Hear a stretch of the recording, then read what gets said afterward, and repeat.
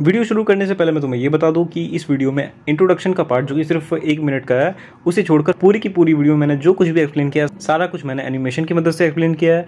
बहुत ज़्यादा मेहनत लगी एनिमेशन को बनाने में। तो मैं भी चाहता हूँ कि तुम मुझे सपोर्ट करो और वीडियो कैसे लगी, ये कमेंट में ज़रूर लिख बताना। क्वान्टिटीज़ हम हमेशा अपने लाइफ में नंबर्स का यूज़ करते हैं चीज़ों को समझने के लिए। जैसे तुम्हारी मम्मी तुमसे कहती है। बेटा जरा दो किलो टमाटर ले आना। दो, बहुत बुरे लग रहे तुम्हारे पापा तुमसे कहते हैं। सौ में से पच्चीस नंबर। खैर अब हमारे जो कंप्यूटर सिस्टम्स होते हैं वो भी नंबर्स का यूज़ करते हैं चीज़ों को समझने के लिए। अब तुम यहाँ पर सोच रहे होगे कि हम यहाँ पर बचपन से सीखते आ रहे हैं कि हमारे जो कंप्यूटर सिस्टम्स होते हैं या फिर जो भी इलेक्ट्रॉनिक डिवाइसेस होते हैं वो ज़ीरो और वन का यूज़ करते हैं चीज़ों को समझने के लिए। लेकिन एक मिनट कंप्यूटर को ये कहाँ से समझ में आता है कि ज़ीरो कौन सी चीज़ है और वन कौन सी चीज़ है? वो इन चीज़ों को कैसे देखता है? और अगर ऐसा है तो क्या हमारे पास सिर्फ़ ज़ीरो और वन है जिन्हें कंप्यूटर यूज़ करता है? क्या कोई और नंबर सिस्टम नहीं है हमारे पास? हाँ हमारे पास और भी नंबर सिस्टम्स हैं और इस चैप्टर यानी कि क्लास 11 के chapter number two data representation इस चैप्टर में हम यही जानने वाले हैं कि कितने तरह के नंबर सिस्टम्स हैं हमारे पास, उन्हें कैसे रिप्रेजेंट करते हैं और साथ ही में हम कन्वर्ट कैसे करते हैं अलग अलग नंबर सिस्टम्स को एक दूसरे पे? तो इस चैप्टर में हम यही समझने वाले हैं कि हमारा जो कंप्यूटर है, वो नंबर्स का यूज़ करके चीज़ों को कैसे समझता है। काफ़ी अच्छे टिप्स और ट्रिक्स मैंने इस वीडियो में तुम्हें बताए हैं और आगे भी इस तरह की वीडियोस आने वाली हैं तो तुम्हें पता है कि अभी क्या करना है तुम्हें। तो वीडियो शुरू करते हैं। तो अब हम एक एक करके सारे नंबर सिस्टम्स के बारे में जानने वाले हैं। तो सबसे पहले मैं बताने वाला हूँ डेसिमल के बारे में। तो डेसिमल जो है, इसमें हम लोग ज़ीरो से लेकर नाइन तक किसी भी नंबर का यूज़ कर सकते हैं और इससे हम किसी भी नंबर को या फिर किसी भी क्वांटिटी को रिप्रेजेंट कर सकते हैं। इसका जो बेस होता है, वो टेन होता है और बेस यानी रेडिक्स और बेस और रेडिक्स जो है, वो सेम चीज़ होती हैं तो ये होता क्या है? जैसे मैंने बताया कि ज़ीरो से लेकर नाइन तक किसी भी नंबर को हम यूज़ कर सकते हैं तो ज़ीरो से लेकर नाइन तक टोटल टेन नंबर्स हो गए। तो इस हिसाब से मैं कह सकता हूँ कि डेसिमल जो है, उसका जो बेस है, यानी कि रेडिक्स वो टेन हो गया। और ये एक पोजिशनल वैल्यू सिस्टम है। इसका मतलब क्या है? इसका मतलब ये है कि किसी भी डिजिट का जो वैल्यू है, वो उसके पोजीशन पे डिपेंड करेगा। जैसे कि मैं एक नंबर लेता हूँ वन ट्वेंटी सेवन इसमें क्या है कि सबसे ज़्यादा वेट किस नंबर का है? वन का है, क्योंकि वो हंड्रेड्स में है। तो वन जो है, वो मोस्ट सिग्निफिकेंट डिजिट हो गया और सेवन जो है, वो लीस्ट सिग्निफिकेंट डिजिट हो गया। यहाँ पर हम ये देख सकते हैं कि यहाँ पर हमने ज़ीरो से लेकर नाइन तक ही नंबर्स का यूज़ किया हुआ है। अब हम यहाँ पर एक फ्रैक्शनल नंबर का एग्ज़ाम्पल ले लेते हैं, जैसे कि हमारे पास दिख रहा है twenty three point seven two तो यहाँ पर हमारे पास इंटीग्रल पार्ट में ट्वेंटी थ्री है और फ्रैक्शनल पार्ट में सेवन टू है। जो इंटीग्रल पार्ट का जो टू है, वो टेंथ प्लेस पे है और थ्री यूनिट्स प्लेस पे है सेवन जो है वो टेंथ प्लेस पे है और टू जो है वो हंड्रेड्स प्लेस पे है। यहाँ पर हम एक एग्ज़ाम्पल देख लेते हैं 179.234 इसे हम कुछ इस तरह से भी ले सकते हैं। यहाँ पर आप देख सकते हो कि हर एक डिजिट को 10 के कुछ पावर पे लिखा हुआ है। तो यहाँ पर मैं आपको बता दूँ कि आप यहाँ पर देख सकते हो, जहाँ पर 9 लिखा हुआ है, वो 10 की पावर ज़ीरो पे है। तो इससे हमें ये पता चलता है कि वो वंस प्लेस पे है। तो अगर हम इस चीज़ का सम करेंगे तो हमारे पास यही नंबर वापस आ जाएगा। तो यहाँ पर ये जो चीज़ें हैं ten to the power two ten to the power one ten to the power zero ये सारी जो चीज़ें हैं, इन्हें हम कहते हैं पोजिशनल वैल्यूज़ या फिर वेट्स तो अब हम बात करते हैं बाइनरी नंबर सिस्टम के बारे में। तो बाइनरी नंबर सिस्टम में तुम सब जानते हो कि हमारे पास सिर्फ़ दो नंबर्स हैं ज़ीरो और वन इस हिसाब से इसका जो बेस या फिर रेडिक्स भी हम बोल सकते हैं, वो हो गया टू तो इसकी ज़रूरत क्यों पड़ी? जब हमारे पास डेसिमल नंबर सिस्टम है, हम किसी भी नंबर को ऐसे ही देख सकते हैं, जैसे मैं, अगर मैं खुद भी बोलूँ तो फिफ्टी पॉइंट नाइन थ्री अगर मैं ऐसे बोल रहा हूँ इसे तो इसका मतलब भी 50.93 और डेसिमल नंबर सिस्टम में भी ये 50.93 है, यानी कि हम डेसिमल नंबर सिस्टम का यूज़ करते हैं। तो हमें क्यों ज़रूरत पड़ी बाइनरी नंबर सिस्टम की, या फिर और भी नंबर सिस्टम्स की ज़रूरत हमें क्यों पड़ी? तो उससे पहले हम ये जानते हैं कि कंप्यूटर जो है हमारा, उसे कैसे ये समझ में आता है कि ज़ीरो कौन सी चीज़ है और वन कौन सी चीज़ है। वो इन सबको किस तरह से दिखता है? तो कंप्यूटर जो है, वो इन चीज़ों को समझता है वोल्टेज मॉड्यूलेशन की मदद से। वो क्या करता है कि कभी अपना वोल्टेज बढ़ाता है फिर कभी अपना वोल्टेज घटाता है। और उसे हम मान लेते हैं कि जब उसने वोल्टेज को बढ़ाया तो उसे हम वन मान लेते हैं, जब उसने वोल्टेज को कम किया है, उसे हम ज़ीरो मान लेते हैं। तो इस तरह से हम मानते हैं कि ये ज़ीरो और वन है, लेकिन कंप्यूटर जो है वो इस तरह से काम करता है कि वो वोल्टेज बस इनपुट ले रहा है। कभी कम वोल्टेज जा रहा है उसके पास, कभी ज़्यादा वोल्टेज जा रहा है। तो अगर हम सिर्फ़ बाइनरी नंबर सिस्टम यूज़ करें तो हमें दो नंबर दो वोल्टेजेस की ज़रूरत पड़ेगी, एक कम और एक ज़्यादा। वहीं अगर हम डेसिमल नंबर सिस्टम के बारे में बात करें तो वहाँ पर कंप्यूटर को टेन डिफरेंट वोल्टेजेस पे काम करना पड़ेगा। तो इनमें से कौन सा ज़्यादा एफिशिएंट है? बाइनरी नंबर सिस्टम का यूज़ करना, जिसमें कि सिर्फ़ दो वोल्टेजेस का यूज़ करना है हमें, या फिर डेसिमल नंबर सिस्टम का, जिसमें हमें बहुत सारे वोल्टेजेस पे काम करना पड़ रहा है। तो ऑब्वियसली हमारे पास ये जो बाइनरी नंबर सिस्टम है, वो ज़्यादा एफिशियंट है। इसलिए मोस्टली हम जो यूज़ करते हैं, वो बाइनरी नंबर सिस्टम ही होता है, यानी कि हम दो वोल्टेजेस पे ही काम करवाते हैं कंप्यूटर से। अब तुम सोच रहे होगे कि हमारे पास जब बाइनरी नंबर सिस्टम है तो हमें बाकी के नंबर सिस्टम्स की ज़रूरत क्यों पड़ी? तो हमारे पास कुछ ऐसी क्वांटिटीज़ होती हैं जिन्हें जब हम रिप्रेजेंट करते हैं बाइनरी नंबर सिस्टम में तो वो zero one zero one zero one ऐसा लिख लिख के बहुत बड़ा हो जाता है। तो इस चीज़ को रिड्यूस करने के लिए हमारे पास और भी नंबर सिस्टम्स हैं तो इस वजह से हम बाकी नंबर सिस्टम्स का भी यूज़ करते हैं। अब हम वापस आते हैं टॉपिक पे, जो कि है बाइनरी नंबर सिस्टम तो ऑलमोस्ट हर डिजिटल सिस्टम में हम बाइनरी नंबर सिस्टम का यूज़ करते हैं, और साथ में हम बाकी के नंबर सिस्टम्स का भी यूज़ करते हैं। इसमें हमारे पास दो सिंबल्स हैं, जो कि है ज़ीरो और वन और ये एक पोजिशनल वैल्यू सिस्टम है। क्योंकि हम अगर किसी भी नंबर को देखें तो हम उसे इस तरह से लिख सकते हैं। यहाँ पर तुम देख सकते हो कि हमारे पास पोजिशनल वैल्यूज़ हैं। तो यहाँ पर तुम पोजिशनल वैल्यूज़ भी देख सकते हो। यहाँ पर मैंने एक बाइनरी नंबर को रिप्रेजेंट करके दिखाया हुआ है। यहाँ पर जो सबसे पहले हमारे पास आ रहा है, वो मोस्ट सिग्निफिकेंट बिट है, और जो सबसे लास्ट में आ रहा है, वो लीस्ट सिग्निफिकेंट बिट है हमारे पास। और अगर तुम्हें इसे डेसिमल में कन्वर्ट करना है तो तुम्हें इस हर एक डिजिट को पोजिशनल वैल्यू से मल्टीप्लाई करना होगा। तुम यहाँ पर देख सकते हो पोजिशनल वैल्यू कौन कौन सी हैं। तो यहाँ पर मैं तुम्हें मल्टीप्लाई करके दिखाता हूँ। तुम्हें बस इतना ध्यान रखना है कि जो वंस प्लेस पे है, वहाँ पर तुम्हें जो बेस है, जो कि डेसिमल के टाइम पे टेन था और अभी बाइनरी के टाइम पे टू है तो जहाँ पर वंस प्लेस है, वहाँ पर मल्टीप्लाई करना है और और टू का जो पावर देना है, वो ज़ीरो होना चाहिए। उसके बाद तो तुम खुद से कर ही लोगे, जैसे थ्री इधर टू इधर वन, इधर ज़ीरो ऐसे करके तुम कर ही लोगे। और जब तुम इस चीज़ का सम निकालोगे तो तुम्हारे पास ये एक नंबर आ जाएगा, जो कि अभी है डेसिमल फॉर्म में। आगे हम ये भी देखने वाले हैं कि इस डेसिमल नंबर को हम वापस से बाइनरी सिस्टम में कैसे कन्वर्ट कर सकते हैं। और अगर तुम कन्वर्ट करेगा तो तुम्हारे पास वापस ये जो वन ज़ीरो वन वाली फॉर्म है, इस पे आ जाएगा। अब हमारे पास आता है ऑक्टल नंबर सिस्टम इसमें जो है, हम ज़ीरो से लेकर सेवन तक किसी भी नंबर का यूज़ कर सकते हैं, किसी भी क्वांटिटी को रिप्रेजेंट करने के लिए। तो इसमें हम कह सकते हैं कि इसका जो बेस या फिर रेडिक्स है, वो एट हो गया, क्योंकि हम यहाँ पर ज़ीरो से लेकर सेवन तक किसी भी नंबर को यूज़ कर ले रहे हैं। और ये भी एक पोजिशनल वैल्यू सिस्टम है। अब पोजिशनल वैल्यू सिस्टम यहाँ पर एट की पावर में होगी। तो यहाँ पर मैंने एक ऑक्टल नंबर तुम्हें लिख कर दिखाया हुआ है। तो यहाँ पर तुम देख सकते हो पोजिशनल वैल्यू से अगर हम मल्टीप्लाई करें और वो जो सेम बात मैंने तुम्हें अभी तक बताई थी कि हम जो वंस प्लेस होता है यहाँ पर, जैसे कि तुम्हारे वंस प्लेस यहाँ पर तुम्हें दिख रहा होगा, यहाँ पर वंस प्लेस जो है वो वन है। तो वंस प्लेस में जो एट की जो पावर होगी वो ज़ीरो होगी और उसके बाद तो फिर तुम कर ही सकते हो। तो ऐसे करके हम यहाँ पर इसका सम निकाल सकते हैं। अब हमारे पास आता है हेक्सा डेसिमल नंबर सिस्टम इसमें हमारे पास कितने यूनिक सिंबल्स हैं? इसमें हमारे पास सिक्सटीन यूनिक सिंबल्स हैं। यानी कि हम यहाँ पर ज़ीरो से लेकर फिफ्टीन तक किसी भी डिजिट को यूज़ कर सकते हैं। लेकिन अगर हम यहाँ पर देखें तो हमारे पास जो है वो नाइन के बाद, यानी ten eleven twelve thirteen fourteen fifteen इन चीज़ों को हम डायरेक्ट नहीं लिखते हैं। इन चीज़ों को हम लिखते हैं A B C D E F A जो है वो टेन हो गया सिमिलरली एफ़ जो है वो फिफ्टीन हो गया। और ये भी एक पोजिशनल वैल्यू सिस्टम है। यहाँ पर पोजिशनल वैल्यू के लिए हम जो यूज़ करेंगे वो नंबर है सिक्सटीन क्योंकि ये हेक्सा डेसिमल नंबर सिस्टम है और इसका जो बेस है वो सिक्सटीन है। तो यहाँ पर हमारे पास एक हेक्सा डेसिमल नंबर आ गया। और अगर हम यहाँ पर हर डिजिट को उसकी पोजिशनल वैल्यू के साथ मल्टीप्लाई करके सबको ऐड कर तो हमारे पास ये डेसिमल सिस्टम में आ जाएगा। तो ये थे सारे नंबर सिस्टम्स और अभी स्क्रीन में जो तुम्हें टेबल शो हो रहा है, ये तुम्हें एक बेसिक रिलेशनशिप दिखा रहा है कि कुछ नंबर्स जो है वो कैसे अलग अलग दिखते हैं हेक्सा डेसिमल ऑक्टल डेसिमल और बाइनरी में। अभी इस वीडियो को पॉज करके इस टेबल को अच्छे से समझ लो। यहाँ पर तुम्हें एक पैटर्न दिख जाएगा, खासकर बाइनरी नंबर सिस्टम में।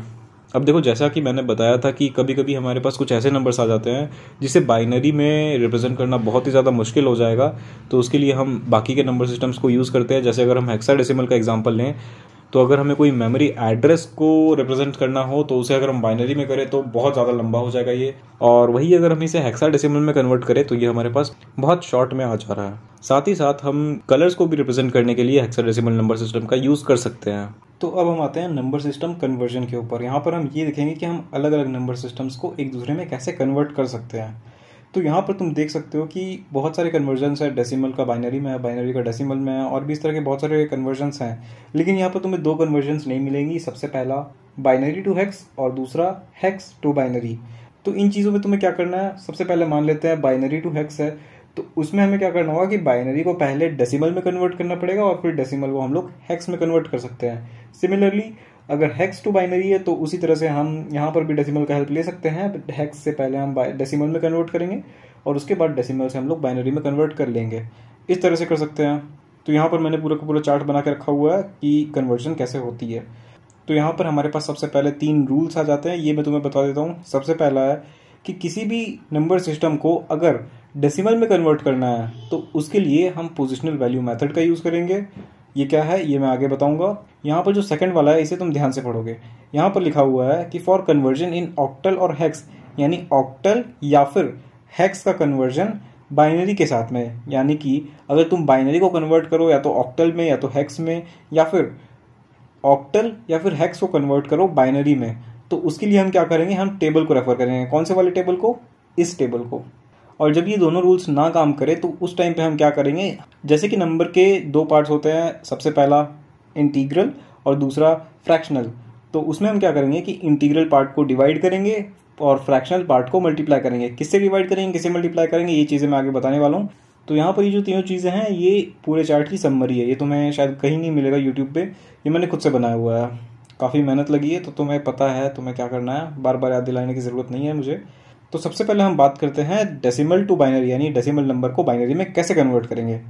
तो यहाँ पर सबसे पहले हम एक नंबर ले लेते हैं थर्टीन हम जानते हैं कि ये एक इंटीग्रल नंबर है, यहाँ पर कोई फ्रैक्शनल पार्ट नहीं है इसका। तो सबसे पहले हमने लिया हुआ है थर्टीन अब थर्टीन को हमें कन्वर्ट करना है बाइनरी में। तो बाइनरी में कन्वर्ट करने के लिए हमें क्या करना है? रूल्स में आते हैं। यहाँ पर लिखा हुआ है keep dividing by two and store reminders from down to up तो उसी तरह से हम यहाँ पर थर्टीन को डिवाइड करते रहेंगे टू से। तो यहाँ पर जब हम थर्टीन को टू से डिवाइड करेंगे, हमारे पास सिक्स आएगा और रिमाइंडर में बच जाएगा वन फिर हम सिक्स को डिवाइड करेंगे टू से, हमारे पास थ्री आएगा और रिमाइंडर में बच जाएगा ज़ीरो फिर हम थ्री को टू से डिवाइड करेंगे, फिर हमारे पास वन आएगा और रिमाइंडर में बच जाएगा वापस वन फिर टू से डिवाइड करेंगे वन को और हमारे पास ज़ीरो आएगा और रिमाइंडर वापस वन बच जाएगा. यहाँ पर जो भी रिमाइंडर्स आए हैं तो हमारे पास ये सारे के सारे रिमाइंडर्स जो हैं, वो ऑपोजिट सेंस में, यानी कि नीचे से ऊपर स्टोर करना है. तो यहाँ पर लिखा हुआ है वन ज़ीरो वन वन लेकिन हमें क्या स्टोर करना है? वन वन ज़ीरो वन नीचे से ऊपर। तो हमारे पास ये जो डेसिमल नंबर है, वो बन के आ जाता है वन वन ज़ीरो वन और नीचे हम यहाँ पर बेस लिख सकते हैं टू ठीक है? अब हम देखते हैं कि डेसिमल के फ्रैक्शनल पार्ट को कैसे हम बाइनरी में कन्वर्ट करते हैं।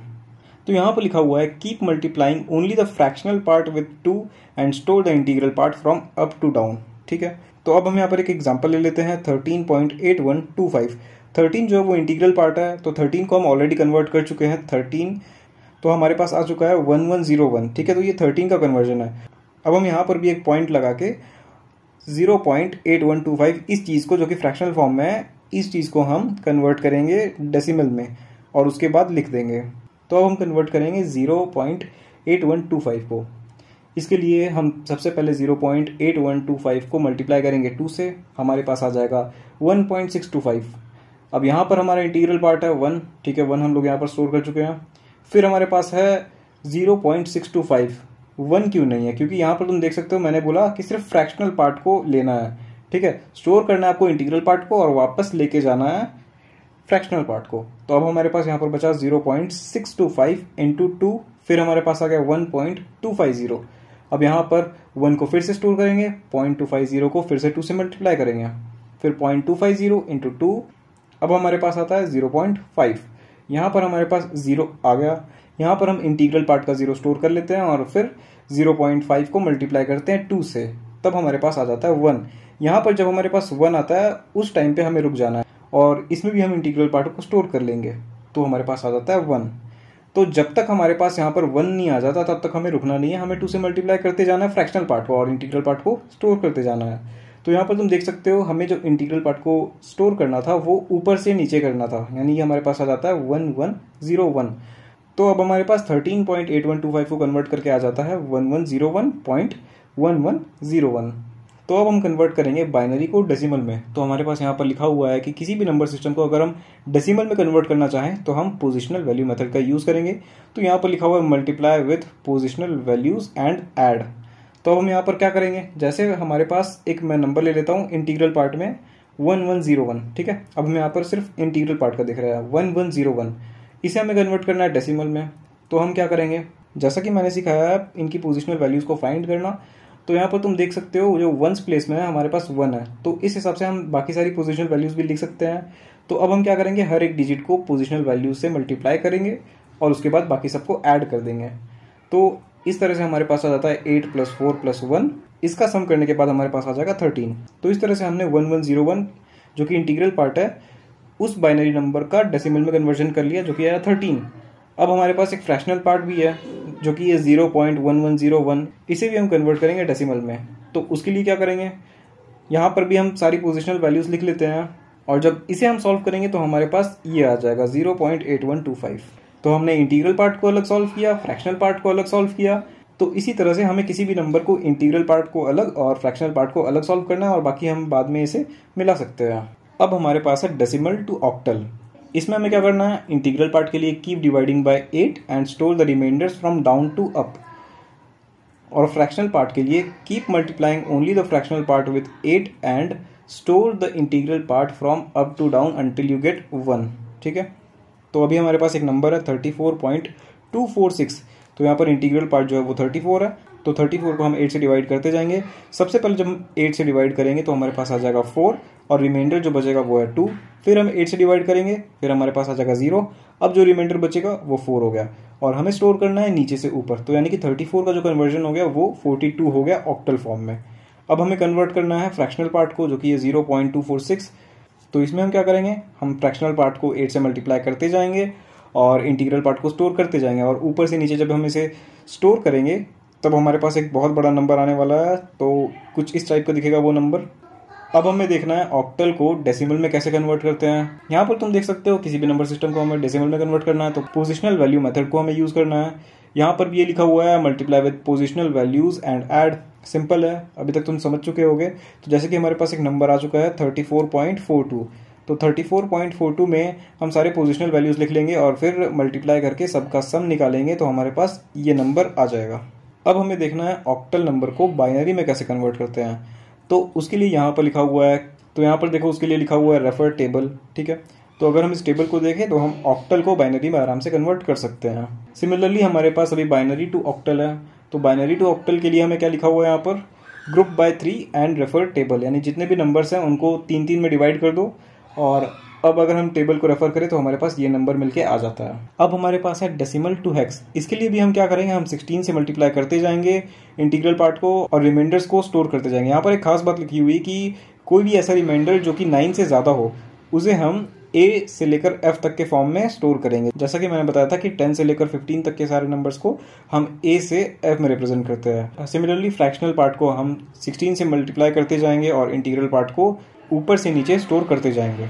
तो हमारे पास एक नंबर आता था फोर इसे हम सिक्सटीन से डिवाइड करेंगे तो हमारे पास ट्वेंटी आ जाएगा रिमाइंडर बचेगा सेवन फिर ट्वेंटी सिक्स को हम सिक्सटीन से डिवाइड करेंगे, हमारे पास आ जाएगा वन रिमाइंडर बचेगा टेन यानी कि ए और अब हम अगर वन को सिक्सटीन से डिवाइड करें तो हमारे पास आ जाएगा ज़ीरो रिमाइंडर बचेगा वन और अगर अब हम इसे नीचे से ऊपर तक स्टोर करें तो हमारे पास आ जाता है वन ए सेवन तो अब हमें देखना है हैक्स टू डेसिमल इसके लिए भी हमें क्या करना है? Multiply with positional values and add ठीक है? तो हमारे पास एक नंबर है थ्री फिफ्टी सिक्स इसे हम सारी पोजिशनल वैल्यू के साथ मल्टीप्लाई करके हर डिजिट को ऐड कर दे तो हमारे पास आता है 854 अब हमारे पास है बाइनरी टू हैक्स इसके लिए क्या लिखा हुआ है? Group by four and refer table यानी कि हमारे पास ये एक जब बाइनरी नंबर आ जाता है, इसे हम चार चार में डिवाइड कर देते हैं और उसके बाद फिर अगर हम टेबल देखेंगे, तब हमारे पास आ जाएगा टू बी ए अब देख लेते हैं हैक्स टू बाइनरी इसके लिए यहाँ पर लिखा हुआ है रेफर टेबल ठीक है? तो यहाँ पर हमारे पास जो नंबर है, वो है नाइन एफ़ टू इसे हम जब टेबल देख के रेफर करेंगे तो हमारे पास ये नंबर आ जाएगा। यहाँ पर हमें एक और चीज़ पढ़नी है, जो कि है बाइनरी एडिशन तो बाइनरी एडिशन क्या है? तो हमारे सीपीयू में तीन चीज़ें होती हैं रजिस्टर्स कंट्रोल यूनिट और एरिथमेटिक एंड लॉजिक यूनिट तो ये जो ए है, ये डेसिमल नंबर्स में काम नहीं करता। ये किसमें काम करता है? बाइनरी नंबर सिस्टम में। तो जब इसके पास कोई ऐसा केस आता है कि दो बाइनरी नंबर्स को इसे ऐड करना है तो वो ये कैसे करेगा? क्योंकि वन तो एक बाइनरी नंबर हो गया, और अगर हम वन प्लस वन कर दे तो ऐसे तो हम लिख सकते हैं टू आ गया। लेकिन टू जो है, वो डेसिमल नंबर सिस्टम है। तो हमें वन प्लस वन का जो वैल्यू आएगा, उसे भी बाइनरी नंबर सिस्टम में ही रखना है। तो यहाँ पर टू जो है, वो डेसिमल नंबर है। तो इसे हम कन्वर्ट कर दे बाइनरी में तो हमारे पास ये नंबर आ जाता है। लेकिन हमें क्या करना है? हमें अभी बाइनरी नंबर्स का एडिशन सीखना है, ठीक है? तो हमारे पास यहाँ पर कुछ केसेस आते हैं। सबसे पहले ज़ीरो प्लस ज़ीरो इसे हम लिखेंगे ज़ीरो ज़ीरो प्लस वन इसे हम लिखेंगे वन वन प्लस ज़ीरो इसे हम लिखेंगे वन वन प्लस वन इसे हम लिखेंगे वन ज़ीरो इसे हम प्रोनाउंस करेंगे ज़ीरो विथ कैरी वन से। और हमारे पास एक लास्टली एक और केस आ जाता है जो कि है one plus one plus one इसे हम लिखेंगे वन वन और इसे हम प्रोनाउंस करेंगे वन विथ कैरी वन यहाँ पर हम एक सिंपल एग्ज़ाम्पल लेते हैं बाइनरी एडिशन का। तो यहाँ पर हमारे पास ऊपर में एक नंबर है वन वन वन वन उसके बाद हमारे पास एक नंबर है one one zero one one इन दोनों को हमें ऐड करना है और दोनों को हमें बाइनरी एडिशन करना है। ऐसा नहीं कि हमें वन प्लस वन टू लिख देना है। हमें यहाँ पर बाइनरी एडिशन करना है। तो वन प्लस वन हमारे पास आ जाएगा, ज़ीरो विद कैरी वन तो यहाँ पर ज़ीरो लिख देंगे, ऊपर में कैरी वन आ जाएगा। अब हमारे पास टोटल क्या आया? One plus one plus one. यहाँ पर हमारे पास आ जाएगा वन विद कैरी वन तो यहाँ पर वन लिखेंगे, ऊपर में एक और कैरी आ जाएगा। अब हमारे पास क्या है? One one. तो वन प्लस वन क्या होता है? Zero with carry one. तो हमें, हम यहाँ पर ज़ीरो लिख देंगे, फिर वापस यहाँ पर वन कैरी जाएगा। फिर हमारे पास यहाँ पर तीन बार वन आ गया तो इसके लिए आएगा वन विद कैरी वन। तो यहाँ पर हम वन लिख देंगे, फिर ऊपर में कैरी दे देंगे वन। तो यहाँ पर हमारे पास वन प्लस वन आ जाएगा, वन ज़ीरो क्योंकि इससे पहले तो कुछ कैरी देने के लिए है नहीं हमारे पास। तो हमारे पास ये जो बाइनरी नंबर जो है, वो एडिशन करके हमारे पास आ जाता है, one zero one zero one zero अब तुम यहाँ पर देख सकते हो, ऊपर जो हमारे पास नंबर है, वो है फिफ्टीन डेसिमल में अगर हम बात करें तो वो फिफ्टीन है। फिर नीचे का जो नंबर है, वो है ट्वेंटी सेवन और हमारे पास ये जो सम आया है, ये है फोर्टी टू तो अगर तुम यहाँ पर फिफ्टीन प्लस ट्वेंटी सेवन भी करके देखो तो भी तुम्हारे पास फोर्टी टू आ जाएगा। तो इस तरह से हम करते हैं बाइनरी एडिशन और एक और चीज़ है यहाँ पर डेसिमल एडिशन ये तो सिंपल एडिशन है जो कि तुम करते हो, जैसे कि यहाँ पर हमारे पास एक नंबर है फिफ्टीन प्लस ट्वेंटी सेवन तो यहाँ पर five plus seven equals to two आ गया, यहाँ पर one carry two plus one और वन यहाँ पर फोर हो गया। तो ये सिंपल एडिशन है जिसे हम कहते हैं डेसिमल एडिशन तो इस तरह से हम करते हैं बाइनरी एडिशन और डेसिमल एडिशन तो अब हम पढ़ने वाले हैं कैरेक्टर स्ट्रिंग रिप्रेजेंटेशन अब तक हम ये जान चुके हैं कि हमारा जो कंप्यूटर होता है, वो नंबर्स को किस तरह से रिकॉग्नाइज करता है। लेकिन हम सब ये भी जानते हैं कि हमारा जो कंप्यूटर होता है, वो लेटर्स और सिम्बल्स को भी रिकॉग्नाइज कर लेता है। लेकिन ये कैसे करता है? ये वो करता है एनकोडिंग स्कीम की मदद से। एनकोडिंग स्कीम क्या होती है? एनकोडिंग स्कीम वो कोड होती है जो कंप्यूटर को हेल्प करती है किसी भी लेटर सिंबल्स को समझने में। तो हम क्या करते हैं? हम कीबोर्ड से किसी भी की को सबसे पहले प्रेस करते हैं, फिर हमारा जो कीबोर्ड होता है, वो उस कोड को एनकोडिंग स्कीम से भेज देता है हमारी कंप्यूटर की ओर, और फिर हमारा जो कंप्यूटर है, वो एनकोडिंग स्कीम की मदद से उस कोड को वापस कन्वर्ट करके समझ लेता है कि ये कौन सा लेटर है, कौन सा नंबर है, कौन सा सिंबल है। हमारे पास जो मोस्ट पॉपुलर एनकोडिंग स्कीम्स हैं, वो है आस्की इसे बहुत लोग आस्काई भी प्रोनाउंस करते हैं या फिर जो प्रोनाउंस करना है करो।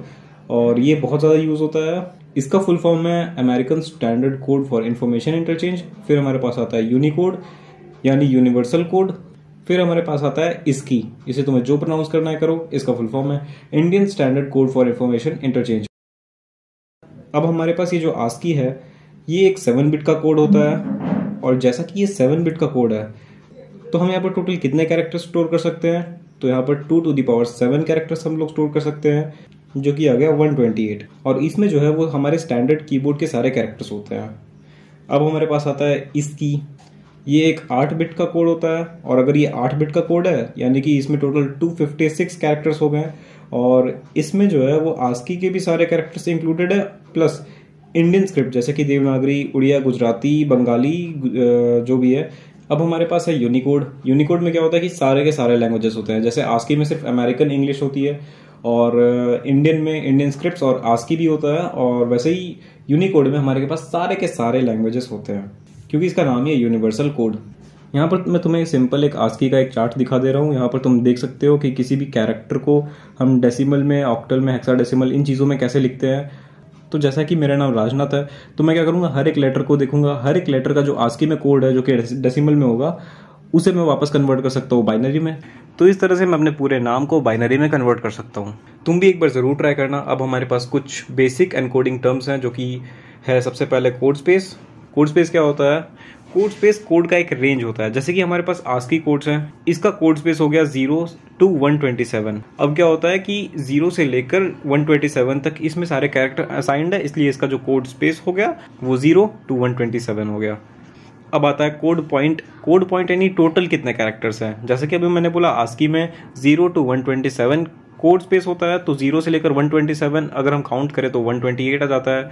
तो इससे हम कह सकते हैं कि कोड पॉइंट जो है वो आस्की के लिए 128 हो गए। और अगर हम वही हम बात करें यूनिकोड के बारे में तो उसमें total eleven lakh twelve thousand sixty four code points होते हैं। अब हमारे पास कुछ टाइप्स आती हैं यूनिकोड एनकोडिंग स्कीम्स की, जो कि हैं U T F eight U T F sixteen U T F thirty two इन सभी से हम किसी ना किसी कैरेक्टर को रिप्रेजेंट कर सकते हैं।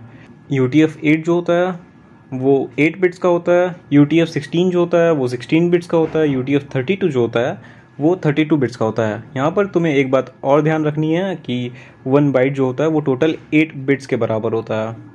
इसी के साथ हमारा ये चैप्टर ख़त्म होता है। काफ़ी सारे चैप्टर्स अभी हैं जो मुझे अपलोड करने हैं तो उसके लिए तुम्हारी बहुत ज़्यादा सपोर्ट लगेगी। या फिर शायद तुम जब तक ये वीडियो देख रहे होगे, तब तक काफ़ी चैप्टर्स की वीडियोस आ चुकी होंगी। तो मिलते हैं अगले वीडियो में।